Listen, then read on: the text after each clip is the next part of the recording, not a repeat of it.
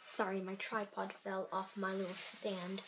But so here, this is just something I don't remember.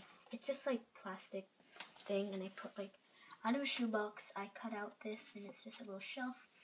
And inside, I have a ton of stuff from Baking with Grace. So this is one of the little boxes that came with Baking with Grace, and it has nothing in it.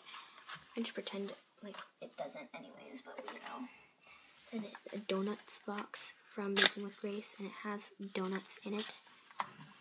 Like that also came with Baking with Grace, or just punch outs. And then these little things that came with the OG kitchen. So I just I put some fluffy fabric. I don't know why. And then in the white one, I put some glitter glue. And in the red one, I put some yarn and glitter glue. Yeah. And then in here, we also have this little thing. These are just Hello Kitty erasers. And I have some candy in there too. Like some Starburst. And then in here, little thing of jam.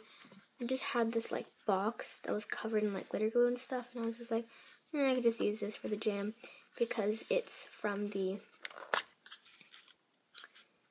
uh, Baking with Grace craft kit.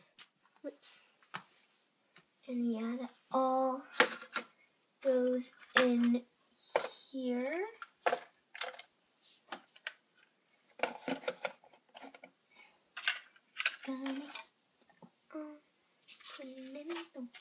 Um, and then on there, there's this tray.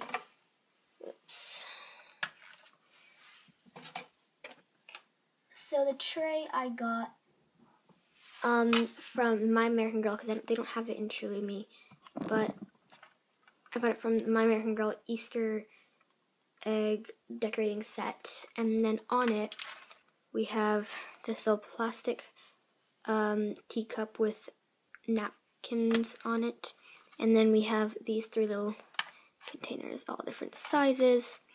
We have the blue and white striped, and the white. So the white ones came with the OG kitchen, and the blue ones came with the um, our OG camper or RV. And then inside each of them, so in the biggest striped one, we have cookies. Medium striped one, we have mints.